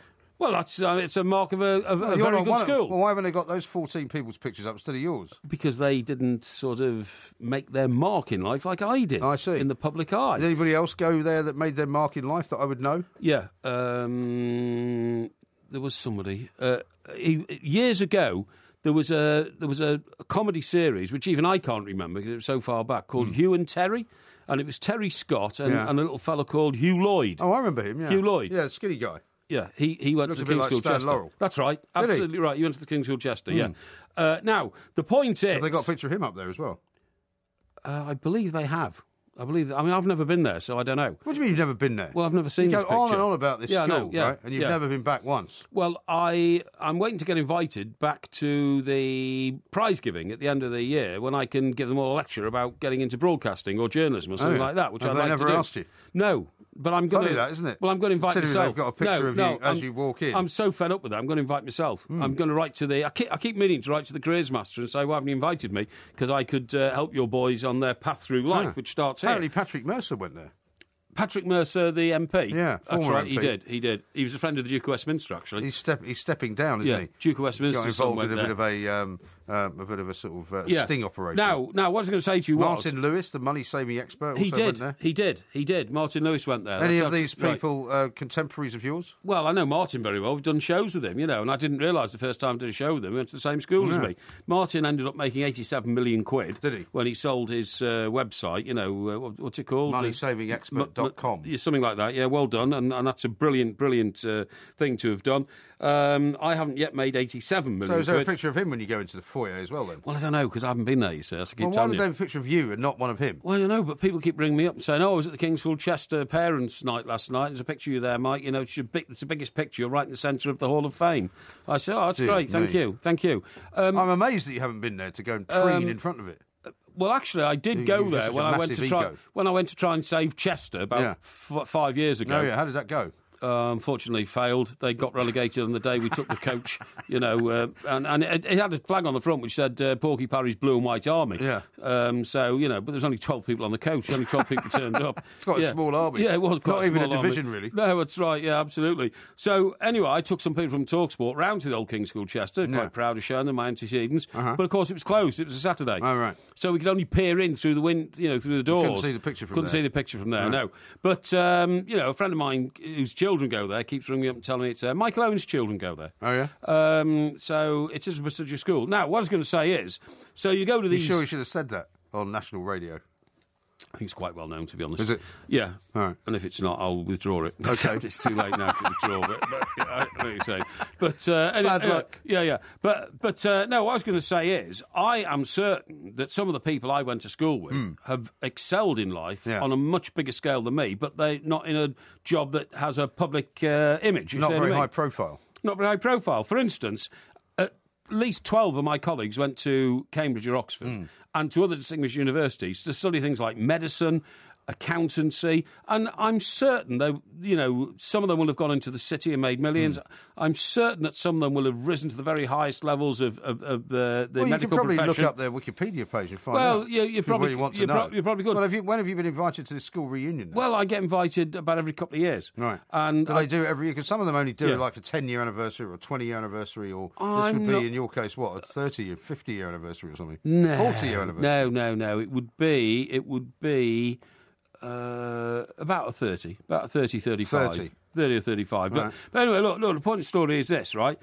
One, You were quite a late uh, one- developer then, no, you? no, no, no. One chap who uh, who was a school colleague, right?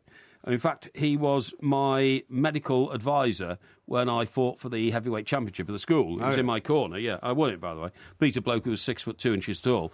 And Yes, um, told us that story. Yes, exactly. I'm still waiting to see the Uh, evidence of that No, no, well. no, no. That's happened. Um, he went into medicine. Hmm. Went to Cambridge University, but was sponsored by the British Army. Was it? Yeah. So he was going to come out of Cambridge and then join the army hmm. as a medic, right? Yeah, I went to university with a few people like that. Did you? Yeah, and, and quite a high placed medic. Now, Mostly they were in the Navy. Yeah, uh, oh really? Right. Yeah. Now, but this boy was so bright, and he had a very he had a very normal name, like Jones. His name was Jones. Why would, that, why would that be strange? Well, because he, you know, he had a, it was a Suggesting people with a normal name aren't very bright. No, no, I'm not suggesting that at all. I'm just saying that it's easy to remember because it was Jones, you know what I mean? And I always said to myself, he was so bright. I mean, he, he got straight A's at A level, and I bet he got a first class honours degree at Cambridge and all that, that I would have expected him by now to be probably retired, but head of the British Army Medical um, Service. Without a shadow of a doubt. I'm sure he'd have got there. Very possible. There were other people there who, who had. Uh, But why are you not in touch with any of these people, though? well, because I don't think there's any point. Why would you be in? Why would you want to be in touch with somebody you last saw 35 years ago? Well, you might be interested in seeing what sort of life they had, or No, talking about uh, the sorts mate, of time, you the good happens. times that you had when you were at school. These reunions happen at the, the, the um, Grosvenor Hotel in Chester. Five star hotel in the northwest of England, top hotel, owned by the Duke of Westminster, all that kind of stuff, right? And all that happens Another at reunions. snob alert. No, no, just thought I'd let you know. All's, uh, well, listen, in my class at school, this is why I like direct grant grammar schools. There was a son of a bus driver, there was a fireman's son, there was a guy who's a, a chauffeur, you know, for, fully enough, for uh, like uh, the landed gentry around Cheshire and all that kind of stuff. But they got the opportunity to go to a very good school because it was a direct grant. Now, what I'm saying is, when you go to these reunions, all it is is a boast fest. But you haven't been to one.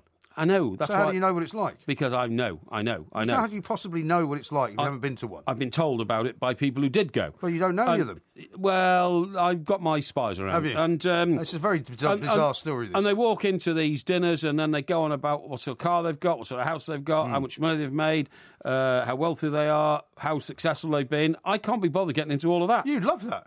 No, you I would absolutely No, love no, I it. You'd wouldn't. talk about your Jaguar. No. You'd talk about your Mercedes. You'd talk about your penthouse. Yeah, but it what- would be absolutely fitting for you down to a T. What I about- can't imagine why you wouldn't go every week. Hang on, what about if some bloke on the side of the table said, "Oh, well, actually, I live in Monaco. I've got a yacht." Yeah, it's this why you're not going. uh, See, the real no, reason no, you won't no, go is because you're worried that somebody might be more successful than you. No. There might be more of a boastful person than No, you. no, and would make you look a bit small. I have no. That's no. what you're worried about. I have no envy against those who succeed in life. as long as whatsoever. they're not in the same room as you. What I have none whatsoever, none whatsoever, and uh, I wish that everybody could succeed in life. Everybody should have a yacht, Yeah. and then the world would be a better place. Well, I had a school reunion story place. for you, but we're out of time now. Well, come on, tell me about No, it. No, we haven't got any time because you Well, spent didn't you all the me? time talking about yourself, as usual. No, no, you should have As told usual. me. You should have told me. And- and do you know what? I walked into the lifeboat station in Minehead in Somerset once, right? What are you talking about there now? Was, there was a picture on the wall of uh, a guy called Dr. John Higgy, Uh-huh. and he wasn't the guy who went into the navy, into the army. What are you talking about? He became a doctor. He was in my class at school. I And he you was, said he was his a- name was Jones. no, no, he was the other guy. This was Dr. John Higgy, and he was a lifeboat man in I don't Minehead. Care. I And a don't care. doctor. I could not How care about less. that? What a coincidence. I couldn't care less. What a coincidence. I couldn't care less. He's Porky Parry. Coming up next, uh, we're supposed to be doing the Porky philosophy, uh, so we'll see if I can get a word in uh, in that section of the show. This is Talk Sport. Every time uh, at this stage of the week, he's going to offer the benefit of his advice uh, in what is being called Parrylosophy.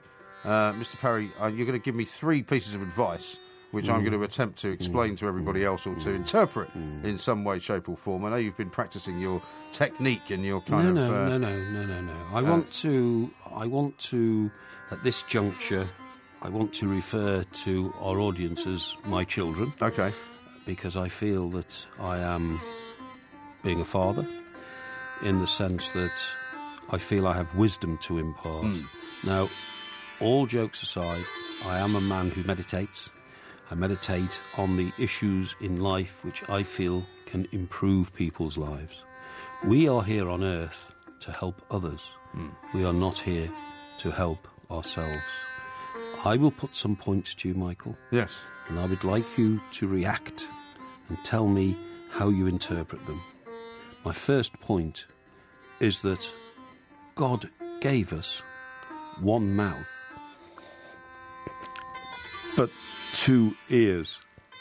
Therefore, why do you not listen more than you speak? Well, that's a very, very good piece of advice, and in fact, um, I'm going to try and um, practice that uh, uh, rather than preaching the complete opposite. Because unfortunately, my problem in life is that I work with someone um, who doesn't practice that, and he has one mouth and two ears, but he doesn't actually use his ears to listen to anything that I say. And you are throwing that insult back at me. Careful, careful! You're, you're in meditation mode here. You are throwing that insult back at me. I'm saying that I have to deal with somebody who doesn't listen You and are- who only speaks. You are suggesting that I have two mouths and one ear. Yes, I, I am. Actually. You are suggesting that. Yes. So why That's don't it feels like? why don't you say that? Well, that wasn't how I thought of it, but now that you've said that, I can see what you mean. So why don't you say that? You do have two mouths and one ear. So I see. The insult is complete. Let me give you another piece of philosophy, Yes. which I want you to think about and respond to, please. A bird does not sing because it has an answer. A bird sings because. Go on. Excuse me. How, Sorry. how do you expect me to to deliver this Sorry, Father philosophy? Parry. A bird doesn't sing because it has an answer. A bird sings because it has a song. No, I like that. Now that I like. A bird sings because it can. In other words, which is a very, very true thing to say. Some people don't Because sing. it has a song. Some people don't sing um, because they have no song to sing. I suppose. Yes. And what you're suggesting is that they should find a song to sing. I'm saying that he or she who does not have a song should not sing. Oh, right. So if you don't have a song, what are you supposed to do then? If you don't have a song, do not sing. Hmm. If you do sing, do not sing because you think you have the answer. Sing because you have the song. Okay. I think I'm slightly confused by this one, but I should also point out once again that the person I work with sings an awful lot and doesn't necessarily sing because he has a song. You, He sings because he sings somebody else's song. you cannot throw every philosophical point I put to you back into my face as an insult. That is not the purpose. I'm just struggling to understand how to Of me. interpret it. of me trying to help the children. Okay. Okay? All right. There Let's try children. the next one. There are children.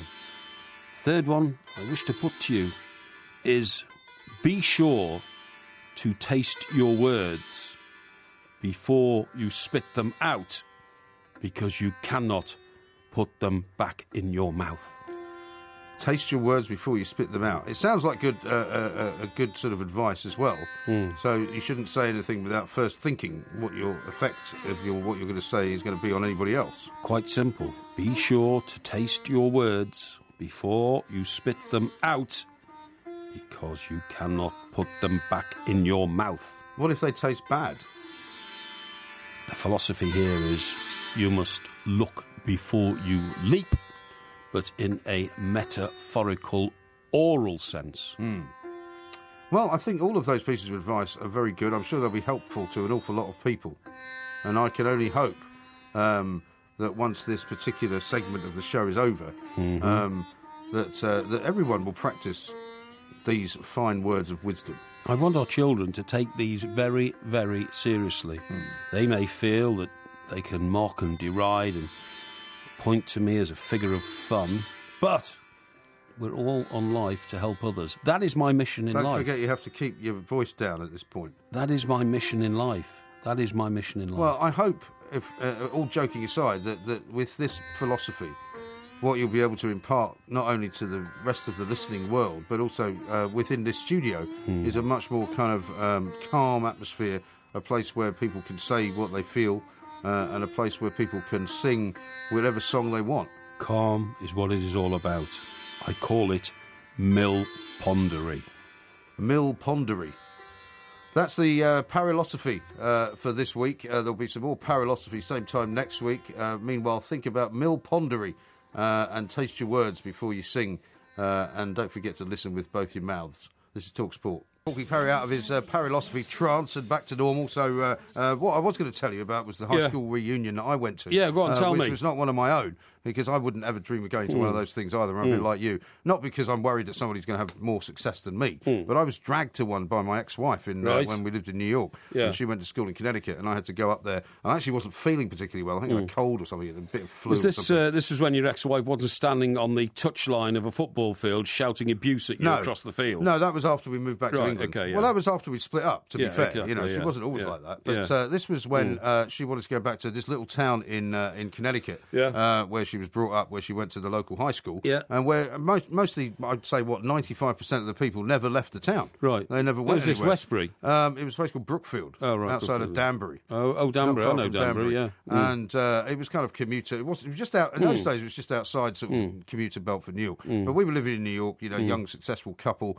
I was working as a you know dangerous international journalist in the world of uh, you know travelling around the, the country, Mm, Yeah. going in, going on planes all the time. She was working on Wall Street, I think. Yeah. And we went, and it was exactly as you describe it. She Mm. just was spending the entire time boasting about our lifestyle and how we used to go to Puerto Rico for weekends and how Yeah. much money we had and all Yeah. this kind of stuff. And I was, I thought it was absolutely horrendous. I just literally sat in a corner and drank Jack Daniels all night and refused to speak to anybody. What were the other people like? They were all working in various places in and around Danbury. You know, like there would be one guy who was working in a real estate office, another guy working in a car dealership, somebody else. Another guy working as a- had ran the local uh, store or something yeah, like that. it was literally like that. Truck and they- driver. and, and there was nobody Yeah. there who had actually left the town. Yeah, and, so- they were, and they were all. So, um, what was the reaction from the other people? Did they think she was a loud mouth who'd come back to um, boast I think about? by the end of it, they probably did Yeah, because it probably got a bit sickening having to listen to it all. Exactly, You know, where she was exactly. talking about having been moved to London of course, and spent time in England and all that. Just you so our listeners know, you were actually a very fortunate young man in those days because you hit on a, a good idea to set up a, um, a freelance news agency in New York. I did. Bas- basically, because nobody would employ you. Um, Not true, so, no. So, so no, no, it was a good initiative. Actually, I'm not no. One it. of, one of the main reasons, it. one of the main Yeah. Mm. reasons I went to, to, to, to America was because Yeah. I wanted to get back together with her. We, she and I had split up, Yeah. and I couldn't work out how to go to America. I couldn't get anyone to send me there, so I thought, well, the best thing to do is I just go on my own. Mm. Yeah. I was only twenty three. I Exactly. had nothing to lose. I literally went with hundred dollars in my pocket. Yes. and you know the rest is history. Exactly. Where did you live when you first went? Well, when we first when I first went over there, she was living in Queens, Right. um, at the end of the number seven line Not in Flushing, out by live. Shea Stadium. And I Yeah. got out there, and I thought, this is not where I'm going to live. I've No. moved to Manhattan. Exactly. Mm. I haven't moved to Queens, so I got myself my first apartment actually, Yeah. which I went to revisit last time I was there, Right. on East 26th Street, between, East 26th, yeah. uh, between Lex and Third. Between Lex and Third, yeah. Which yeah. was great in many ways. Unfortunately, well, It's it very turned out- trendy now. It's very trendy now. it wasn't quite so trendy then. There was a lot of hookers around in those days who used to. Mm. Yeah. You know, I got to know them all quite well because I'd be walking home sure past them did. every night. Yeah. Not because of the reason you yeah, think, yeah. Uh, but they they called me by. You know, used to say, "Hi, Mike, how are you?" All that kind of thing. They. Mm. knew I wasn't interested in that. But also, rather unfortunately, it was near one of the big union headquarters. And, Oh, uh, yeah.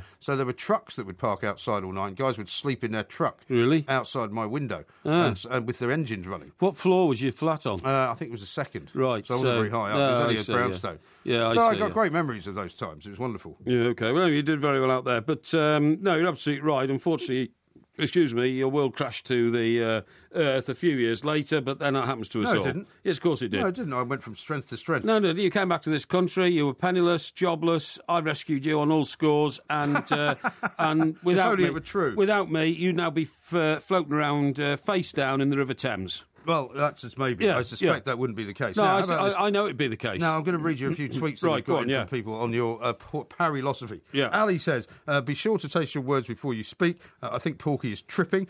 And uh, Mm. Ian says Mystic Meg. And uh, here's another one from uh, uh, Tony who says, loving Guru Porky, talking cobblers as usual. What? Um, and uh, Ian in Rossendale says, I can't get the image of Porky in a turban out of my head. Mm. Well, listen, when I called our listeners the children, this is what I, I do feel I have a role in life. I mean, quite seriously, I have a role in life to impart the wisdom that I've gathered throughout my own life to other people, right? And, and, and these philosophical statements are really a dressed up way of saying, look, I know because I've been there and done this and done that, and you should do this. That's that's what I mean. Yeah. That's what I mean. But it's, it's it's not Confucius says.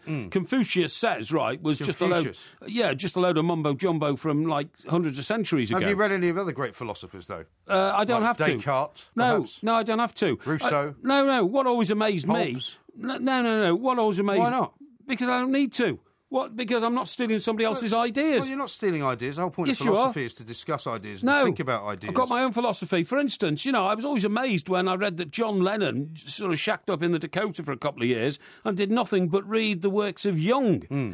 Now, you know, the only Young I know is Alex Young, who played centre forward for Everton in Right. the 60s. Well, I think I John Lennon perhaps expanded his mind slightly more than you have. I don't care who, who about the he's a German, wasn't he? He Jung, was, yeah. a, a German philosopher. I mean, what what is a philosopher? What can philosophers tell you? Philosophers can tell you about the meaning of life. No, no, no, no. Philosophers can tell you about what they think is the meaning of No, life. they can't. But I don't care what Jung thinks No, about the see, meaning you're of the life. I don't care what some guy in Germany thinks about, you know, walking around the Black Forest and drinking um, Steiners of uh, of uh, ale and beer and I all don't think that. that's what he talks about. Well, I don't know what he talks about because I'm not going to read him. Well, I don't. I don't want to know. Well, if you did read it, and I, I don't know why you Why suddenly would you want to so read it? shrill. Well, No. because it's thought provoking. It's not thought provoking. it's supposed to expand your horizons. Okay, mean, Okay, all you I know tell- about, uh, all you yeah. know about is your own little world. So does that make Hitler a philosopher No, it because he, because he wrote a book called Mein Kampf? No, it doesn't. Which is translated as My Philosophy or something, isn't it? Yeah. No, it doesn't. That's what I'm saying. I mean, you know, somebody writes a book about the way their mind works and what they think about the world, and that makes them a philosopher. I don't think so. Not necessarily. I do not think so. But there are certain people who are regarded as great philosophers because they were great thinkers of their time. Because at the time when they came out with some of the thoughts that they had, nobody else had really thought about them. All right. Well, would you Particularly say? some Would of the you say? classical philosophers. Would you say Russell Brand is a great philosopher? Um, I would say uh, he probably thinks he's a bit of a philosopher. I don't particularly like his philosophy. I, so I, I think he t- no. I think he talks absolute nonsense. You know, he talk, and he talks it from a perspective of complete hypocrisy. Yeah. So why would you take notice of him? Yeah. Why would you take notice of him? Well, he's not the kind And- of person I'm talking about. Well, who are you talking about then? Go on, describe about- your favourite I'm- philosopher well, to me. My favourite philosopher, probably, um, I would say, was uh, was a novelist actually, Jean Paul Sartre, who wrote The Roads to Freedom, uh, who was an existentialist who basically talked about how the meaning of life was essentially meaningless. and I, I, I know all about take it- exist- existentialism. I've studied existentialism. Okay. Well, what, what did you make of it? Existentialism is basically a man goes along a road and comes in life and goes to and comes to a crossroads. If he takes the right road off that crossroads, Hmm. he then comes to another crossroads. If he takes the right road off that crossroad, he comes to another crossroad. And if he eventually arrives where you know he'd like He's to be, be very tired by the where he like trip, where he? he'd like to be, it means he's taken the right turning at each crossroad. Those of us who fall by the wayside have taken the wrong turnings at one or more of those crossroads and end up in the gutter where we probably belong because we don't have the sustenance, the ability, the wit, and the and the sheer willpower to press on in life. I don't think that's it's as simple all- as that. no, it's as simple as that is at all what Philosophy is a load of baloney. I don't think it even exists. Philosophy is just one man's idea of how he thinks the life works. Well, philosophy, by the way, philosophy doesn't exist. But if you had actually gone to Yeah. university in a decent university and studied philosophy, you would have found out a little bit more about yourself. You would have found out a little bit more about the world around you, about how I know all about myself. About thoughts, how I know all about myself. Do you? Yeah. Yeah, but the truth about what more do I need to know about myself? Well, the truth about you is that you don't like yourself. Oh, rubbish. You don't. Who actually, told you that? deep down, I can tell. Oh, utter I can tell. Well, do you like yourself? Yeah, I do. Well, I'm when you look in the mirror, do you like yourself? I'm very happy in my Happy with your skin. body image? I'm very happy in my skin. It's not about my body like being a fat uh, You blob, do I can tell when you're turning nasty No, me. no, no. Well, that's what you are. Uh, You say I'm not happy with myself. I don't think you are. That is completely untrue. That's why you choose to surround yourself No. with all kinds of uh, baubles and No. gadgets and expensive Baubles, things. gadgets. I am very and- and- happy and- with myself, Yeah, right? but, but you, you surround yourself with all these kind of trappings of life. I'm happy to give away to other people who are less fortunate than me. I don't have a problem with that. By the way, did you see that chap on the train the other day gave a woman five pounds and a little note which said, um, "Well done for being uh, a very good mother to your child." A Oh, very really? polite little no, child. I didn't I- see that. And, this wasn't the guy that was doing good deeds all over the place, was it? no, no, it's just a one-off. Everybody had a huge fuss of it, saying, "Blimey, I've been in restaurants Hmm. where I've seen." Uh, I think there were twelve of them, twelve students from Yeah. Portsmouth University. We were all having a night out, and in, it was in a, it was in a, it's in Pizza Express actually. Yeah. And I thought, what nice young people, they're the future of us, and all that kind of stuff. So after I'd finished on the way out, I said. Give me their bill, and I paid it for them Right. um, because I wanted to, you know, just register the fact that you know it's great to be young. that's and just they, showing off, and- isn't no, it? it's no, because I didn't tell them. I didn't tell them. I didn't tell them. And I just said, tell them I paid the bill, and, and I left. Um, now, I got about 300 yards down the road. Yeah. This was in Gunwharf Quays in uh, Portsmouth. And then I heard this click, click, click, click, click, click, click, click, click, click, click. And two of the girls who'd been on the table came running after me Yeah. and said, We can't believe what you've done. It's so kind of you. Thank you very much indeed. It's- I said, Don't worry about it. I said, I'm very, very lucky. I said, uh, you know, I've got more money than you, and I'm very happy to share my good fortune. And uh, I hope you had a good night and all that kind of stuff. They said, "Oh, you're an amazing man, amazing." And, And that's uh, why you did it, isn't it? No, no, so well- that somebody would tell you you're an amazing Well, man. hang on, about the only hang chance on. you're ever going to get of somebody doing that. Hang on. Why then did I do it anonymously? Why did I disappear? Why did I not you hang around? didn't disappear. I did disappear. I had no. In- I, I said to the waiter, I said, "Don't tell him." I said, "I said just tell them it's paid for Yeah. from a benefactor and all that." But one of the girls must have seen me leaving, or she must have Yeah. noticed me Funny while I was in the it? restaurant or How- something like that. how strange. Oh, hang How on. bizarre. Hang on. Or or or she must have. Um, she must have uh, said to the, uh, she must have fluttered her eyelashes at the head waiter and said, "Well, where did this come from?" No. Uh, anyway, you know, Well, they found out very quickly after you'd well, done it. Well, they're young people. They're astute. They're students. You know, we pay a lot of money to educate our students, Really? and clearly they knew what they were doing. But I mean, what I'm saying is the philosophy thing. It just drives me mad. Uh, you know, when people describe themselves as philosophers or or or somebody else describes them as a philosopher, it's nonsense. Utter rubbish, garbage. There's no such thing as a philosopher. There's a thing about people who talk junk in their own mind. Hmm. I mean, was John Lennon a philosopher? I think he was a bit of a philosopher. I think he was a philosopher. Yeah. But I, he wasn't a philosopher because he wanted to influence the way the world worked or anything like that. Well, he did actually. He wanted us all to. I mean, he kept But saying. you just said you don't believe in philosophy. Uh, uh, what I'm saying is this.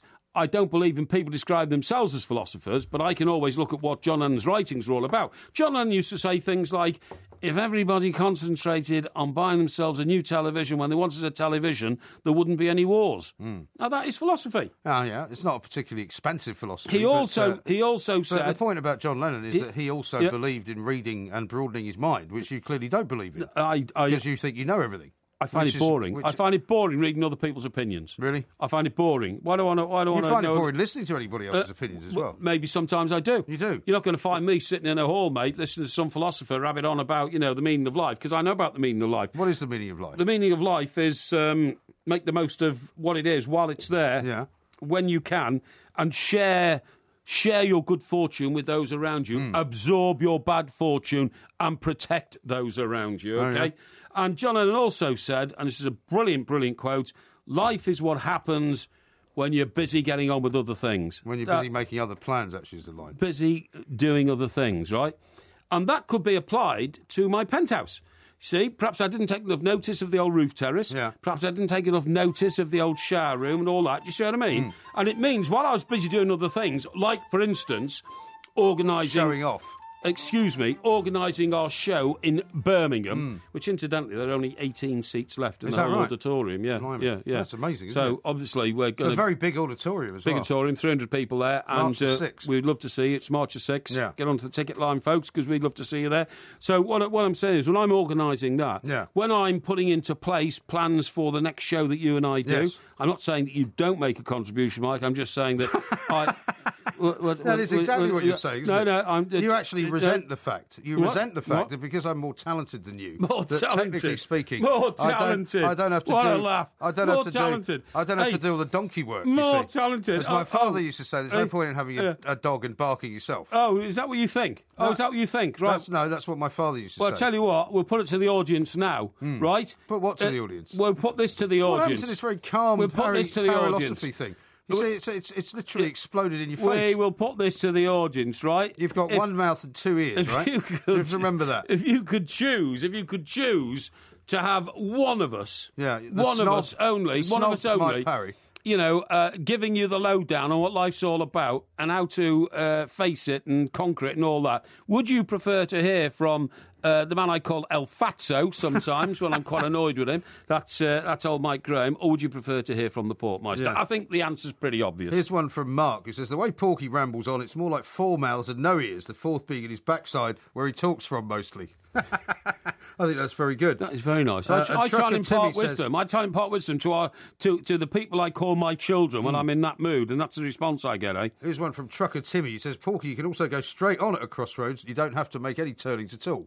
Well, yes, but you So take you make a, you make a choice on your direction from those crossroads, don't you? That's the point. Mm. Yeah. that's the point which a lot of people miss. You see, And here's one from people don't understand existentialism like I do. I, I virtually invented existentialism. Did you? Yeah. Existentialism. Existentialism, Yeah, yeah. you forgot the Yeah, I. yeah, I Um, actually, Mike yeah. Mm. says this Parry should practice what he preaches before he tells all the listeners that if they go to a state school, they're thick. You see, I didn't you've say upset- that. I never said that. You've upset lots of people I never over said the that. course of the last you put words nights. into my mouth. I never said that at all. What I said was I want people who go to a state school to have the opportunity to better themselves. Hmm. You only do that by getting a better education system. Now, okay? before uh, we uh, we close this particular chapter Hmm. of the two Mikes, there will be another one tomorrow night, of course, at two o'clock after the Spurs game, uh, which hopefully will be as good as the Chelsea Liverpool game, but we don't know. Mm-hmm. Uh, it's been delightful to see you again, but I just want to remind you And a that podcast. uh, uh, there will be a podcast out. Eighty mile an hour's uh, uh, uh, rule is coming back yeah, in. It's hope a so. comeback. Hope so. So you could go, um, you can go hopefully soon down the motorway at 80 miles an hour. Hope so. Which is what I mean, you want to do. I do already, and I say that without fear or favour. Well, as long as you don't put the headphones in. No, uh, I already go at least 80 miles an hour, sometimes 85, because my car was built to do 100 miles an hour. Hmm. Yeah. Hmm. Whereas when the 70 mile an hour rule was in place, that was built for Morris Apparently, Minors. it's not a good idea to admit to breaking the law. Well, I'm not admitting to breaking the law. Well, I'm, you just have. It's virtual, virtual speed. Virtual? Virtual speed. Um, Well, and, pretending you're a Spitfire pilot while doing the same thing. okay, I said that. Lots of people do that. I don't think there's people- wrong with that. Lots of, I But you say- shouldn't admit to speeding, though. No, no, well, I'm not admitting to speeding. You get a 10% allowance on the 70 miles an hour, so that Uh-huh. takes it already to 77, Right. okay? So I'm only talking about 7 miles an hour, Right. uh, or 3 miles an hour at 80 miles an hour. I'm only talking about 3 miles an hour over the speed limit, aren't I? Yeah, and Right? also you can argue if you get a really good lawyer that uh, the calibration of your speedometer might not be No, I wouldn't correct. argue that. I'd argue that this car is very safe. It's got a good braking system, much better than a Morris Minor. The, the the 70 miles an hour was built for a Morris Minor, which was basically a tin of Heinz baked beans on wheels. It's no wonder that they uh, only went at 7 miles an hour. They used to fall to pieces at 60 miles an hour. Anyway, have you ever seen a, a Morris Minor on the on the hard shoulder of a motorway with the wheel broken and, and fallen off? Not for about fifty years. no, well, I have as well. I'm back at 7 o'clock with Mr. Brazil. Are you? Blimey, well, you better go and have a lie down. Um, no, uh, no racing around. In the dark No, uh, room. Go and eat with one of those mouths that you've got, and uh, keep yourself uh, very, very fit. Follow us at the two Mikes uh, at Mike Parry eight at I R O M G as well, and uh, do let us know what you think. And uh, if you think uh, that uh, uh, those last eighteen tickets up in Birmingham uh, might be your last chance to see us, don't worry. There will be other shows, and we will be announcing something else, perhaps before the end of this week. This is Talk Sport. we are the two Mikes. Look at the light!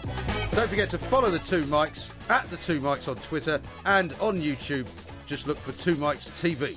Do you know what you can do with dishwashers? What? Well, you can put your keyboard in from your computer. Why would you do that? Uh, clean it thoroughly because it doesn't get cleaned anywhere else. No, that's an And by the electronic. way- it's a piece of electronic equipment. You can't Yeah. get it wet. No, there is no electronic stuff in a keyboard. It's just a physical thing. It's like a wind-up clock.